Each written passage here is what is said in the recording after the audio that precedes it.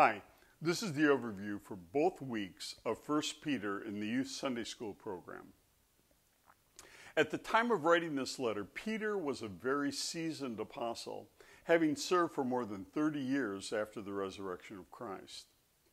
It seems that this letter was written to all Christians scattered throughout the Roman Empire.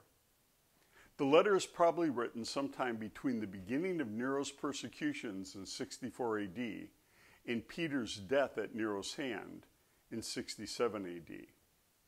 The writing seems very tense, and I would suggest the tone is similar to Paul in 1 Timothy. While we're always told to be alert because the days are evil, these people were experiencing it. Endurance and following Christ is a constant theme in the Word. It's not easy. And before we know it, we and those we're teaching might be facing very trying times. Yet today, still, many people just hang around church and make the right noises because everything in the West is still so easy and non confrontational. In our Western culture, if we don't live as witnesses for Christ, who cares? Believing is totally easy, and the requirements of following Jesus are few. Just stay out of trouble. But trouble is coming. Jesus invited people to walk as he walked and to suffer as he suffered in the harvest. For it has been granted to you that for the sake of Christ you should not only believe in him, but also suffer for his sake, engage in the same conflict that you saw that I had, and now hear that I still have. That's Paul in Philippians 1 29 and 30. The point of remaining on earth is to reach the lost and make disciples, that is, being witnesses and followers of Christ. On this planet, that means opposition.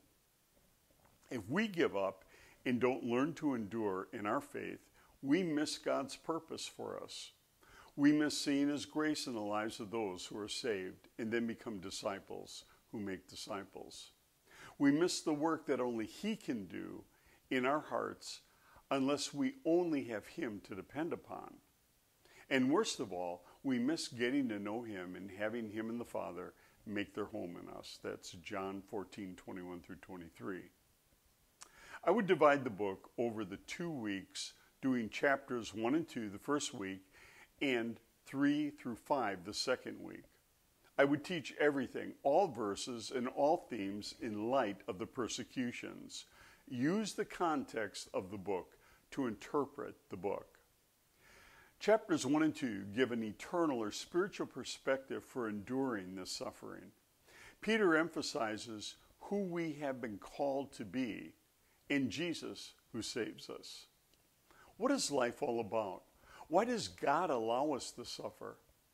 How much should we submit to the authorities?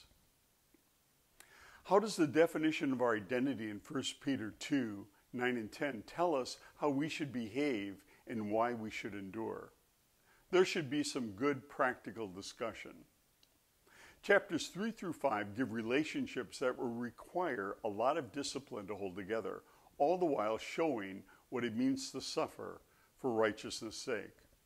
Why is it important for husbands to lead and wives to submit in danger?